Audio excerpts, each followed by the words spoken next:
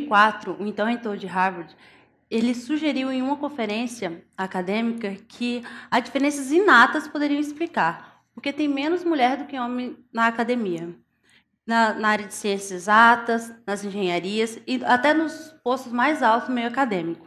Mas será que a aptidão inata realmente explica o que de fato acontece? Eu cresci em um sítio, minha mãe dona de casa, cozinheira de mão cheia. Meu pai, um homem de coração gigante e empreendedor. Meu pai, quando casou com a minha mãe, ele, já, ele era viúvo e tinha duas filhas. Como não tinha televisão em casa, rendeu mais quatro filhos essa união. E eu sou a primeira da segunda leva. A casa sempre foi cheia. Meus pais não estudaram muito, mas a minha mãe ela sempre incentivou muito os estudos. E, mas como meu pai sabia quem mandava em casa, com o tempo ele também passou a incentivar a gente a estudar e dividir o sonho com a minha mãe de ter os filhos formados. Com seis anos, eles me matricularam, matricularam na escola. E eu entrei na escola já sabia ler pequenas frases, é, escrever o nome de cada integrante da família, e isso era a sensação nas reuniões na minha casa. Meu pai chamava para me trazer o caderno e a caneta e eu ia toda faceira para mostrar o que eu sabia fazer. E durante esse, quando eu entrei na escola, na região que, onde a gente morava, não tinha transporte público para levar as crianças para a escola. Aí eu fui morar com a minha avó e foi um ano de muita experiência. Eu andava atrás dela para todo lado. A minha avó, ela sempre quando ela ia fazer suas atividades, ela me chamava principalmente quando era para fazer bolo. E eu acompanhava, ajudava a mexer a massa, e ela me colocava para vigiar o bolo assar. E eu ficava hipnotizada, ver o bolo dobrar de tamanho, eu queria saber por que, que aquilo acontecia. Aí explicava, pedia, perguntava para minha avó por que disso. Ela, na sua simplicidade, ela dizia que era devido ao fermento, que ela colocava na massa e o bolo crescia. Aí eu fiquei foi a perdição, porque eu achei assim, que se eu usasse a quantidade certa de fermento, eu poderia fazer qualquer coisa crescer. Aí, a minha avó, eu acho que ela morreu sem saber. Eu gastava todo o fermento dela pelo quintal, fazendo experiências, fazendo experiências para ver se conseguia fazer algo crescer. A minha avó, além de dona de casa, ela também era feirante. E durante esse período que eu morei com ela, eu também acompanhava ela para a feira para vender legumes, artesanatos que ela fazia. E eu acho que eu dava mais prejuízo do que lucro, porque eu, ia, eu tinha um relacionamento sério com a banca de pastel. Aí, quando foi para o segundo ano do primário, eu voltei a morar com os meus pais, porque teve transporte público. Aí eu voltei a morar com eles. Com oito anos de idade, meu pai me deu uma bicicleta semelhante a essa, que foi a semente da liberdade. Por quê? É, e ao mesmo tempo também que se tornou o brinquedo das oito crianças ali daquele sítio. Por que os pronomes possessivos, em questão de brinquedo, não se aplicavam? Se tornou a semente da liberdade, porque quando eu queria ir para a feira com a minha avó e pedia para o meu pai me levar no carro dele, ele ficava inventando mil e uma desculpa para mim não me levar. Aí eu amarrava tudo na garupa da bicicleta e ia para a feira. Quando eu completei 12 anos, o meu pai veio a falecer. É...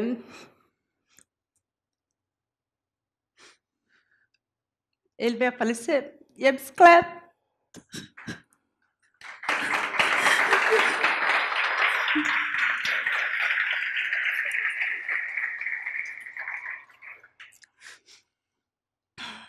É, ele veio a falecer e a minha mãe, ela tomou a direção desse barco com o auxílio da minha avó. E ela criou a gente para o mundo. E com o conceito de que juntos somos mais fortes. E essa bicicleta passou a, a ser uma semente né? E também uma forma de financiar os nossos estudos, porque no começo do ano a minha mãe comprava o material letivo, né, para o ano letivo, e quando precisava de qualquer é, papel A4, cartolina, tinta guache, era com dinheiro da feira que eu comprava esses materiais. E esse sítio ele foi um laboratório a céu aberto. Porque da, dessa porteira, o meu pai nos estimulou a ter senso crítico. De que forma? Parece uma brincadeira muito boba. Ele levava a molecada para essa porteira e a gente começava a fazer a brincadeira de contagem de carros. Quantos carros passavam para um sentido e para o outro. Depois de um tempo contando, ele questionava a gente para criar hipóteses de por que estava passando mais carro para um sentido do que para o outro. E do pomar desse sítio, eu pude ver os processos da natureza de perto. Eu pude ver as plantas crescerem, dar frutos, as sementes germinarem, que eu ficava enlouquecida com isso. Porque eu ficava observando que algumas sementes germinavam mais rápido do que outras. Aí, quando eu perguntava para minha mãe o porquê que isso acontecia, ela, do senso comum, me dizia que era porque uma semente era mais dura do que a outra. Eu levava esses questionamentos para a escola. O porquê disso? E os professores me estimulavam a buscar a resposta científica para isso. Essa escola foi a escola que eu fiz ensino médio. Nessa escola, eu tive professores que me deram asas para sonhar o ensino superior. Tive dois professores, uma de química e um de física, que me estimularam através das suas vivências, contando como era, foram a experiência deles no ensino superior.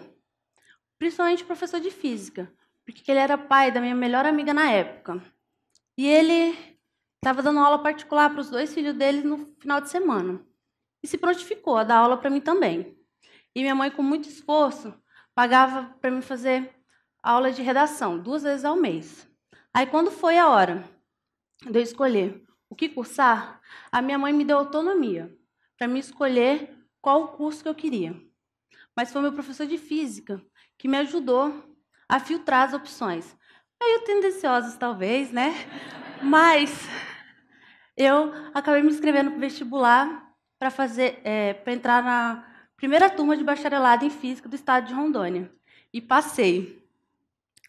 Quando cheguei na universidade, gente, o nome de lá é UNIR, né? Mas é a Universidade Federal de Rondônia. O nome, né? Unidos, vamos vencer esse, essa barra. Mas nessa universidade foi um ambiente totalmente novo, porque na minha casa eu era a primeira que estava pisando na universidade. E quando eu cheguei na universidade, eu tinha uma prima que já estudava aqui, e ela me deu o seguinte conselho. Ela falou: Mariane, os dois primeiros semestres da graduação são os mais importantes. Você e vão dizer como que vai ser a sua graduação. Se você quiser participar de iniciação científica, receber auxílio estudantis, você tem que se dedicar. Eu escutei o conselho e usei esse conselho como um mantra. A partir de então, eu me dediquei, mas não foi muito fácil, porque eu cheguei na cidade que eu não conhecia ninguém, tive que começar do zero, fazer novos amigos, morar com pessoas que não eram da minha família. Mas, no final, deu tudo certo. Terminei o primeiro semestre, passei ali com aquele CR sofrido, mas foi. Entrei num proje um projeto de extensão. E nessa mesma universidade eu tive vários professores que me incentivavam a participar de iniciação científica, em congressos, que eu pude fazer conexões e conhecer pessoas que me ajudaram a obter informações de como participar de um processo seletivo de mestrado. Mas, ao mesmo tempo, eu tive professores que faziam questão de me lembrar que eu era mulher tentando fazer ciência, que eu era uma mulher que estava ali e fazia piadas disso, fazendo me sentir que aquele espaço não era meu. E ao mesmo tempo que eu fazia o bacharelado, eu estava fazendo matérias da licenciatura. E teve duas matérias que me chamaram muita atenção, que era História da Física e História de Ciências. Eu notei que poucas mulheres eram citadas. Aí só reafirmava isso. Eu falei assim, no passado nenhuma mulher se interessou por física, que tem alguma coisa errada. E essa insegurança eu levei até o final da, da graduação. Pesquisei sobre algumas mulheres, estudei para poder encontrar essas mulheres da física, mas levei essa insegurança comigo. Aí, quando foi para fazer as inscrições dos processos seletivos do mestrado, atirei para tudo constelado, é porque o que caísse na rede era peixe. Me inscrevi para 10 processos seletivos e passei em 8, com bolsa. Fiquei pasma. E entre as oito, eu escolhi a UF.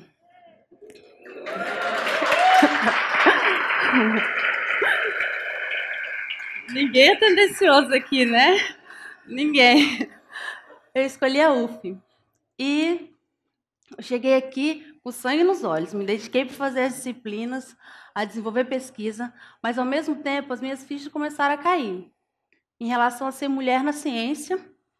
E eu comecei a notar que não bastava eu chegar aqui e mostrar todo o meu potencial que eu ia ser respeitada. Porque o meio acadêmico, ele vende muito isso.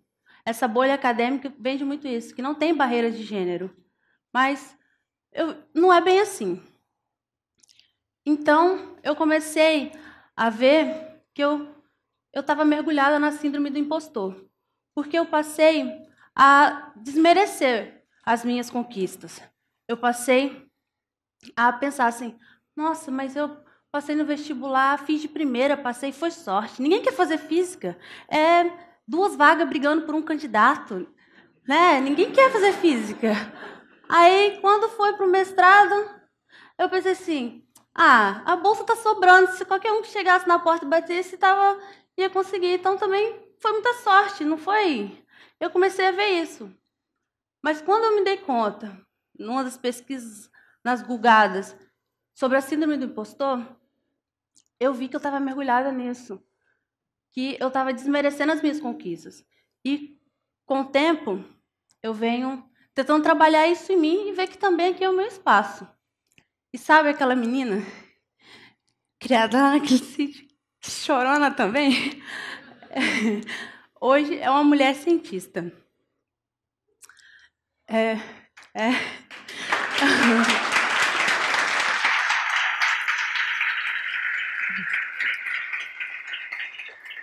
É uma mulher cientista que, em paralelo ao doutorado, estou cursando licenciatura em física. Não, não tinha né, problema suficiente, resolvi fazer licenciatura em física. E, através da minha monografia, eu vi uma forma de contar a história dessas mulheres internacionais e nacionais, contando as histórias delas sem romantizar, de forma que eu conseguisse aproximar a história dessas mulheres, dessas jovens cientistas, para que elas se sintam representadas, sentir que faz parte disso aqui também. Um exemplo, a professora e pesquisadora Sônia Guimarães, professora do ITA. Ela foi a primeira mulher negra a conquistar um doutorado em física pelo Instituto de Ciência e Tecnologia de Manchester. A pesquisa dela é, de, é questão de interesse de defesa nacional. Ela desenvolve sensores de infravermelho para colocar na cabeça dos mísseis. E certeza que muitos de vocês, ou talvez até todos, nunca ouviu falar dessa mulher. Então, eu tenho como objetivo com a minha pesquisa quebrar esses muros e levar o nome dessas mulheres para mais pessoas possíveis. E através de um coletivo de mulheres que eu participo, mulheres acadêmicas, a gente desenvolve palestras, rodas de conversa, debates, para empoderar essas jovens cientistas do meio acadêmico, para elas entender seu lugar na ciência. Saber que esse lugar também é delas, que ciência também é coisa de menina. Sou Mariane, tenho 25 anos, faço doutorado em física, sou mestre em física e estou fazendo licenciatura em física também. e o meu objetivo é quebrar esses muros do meio acadêmico, para que as meninas, as jovens cientistas, não sejam condicionadas apenas a escolher o que é coisa de menina. Obrigada. Thank you.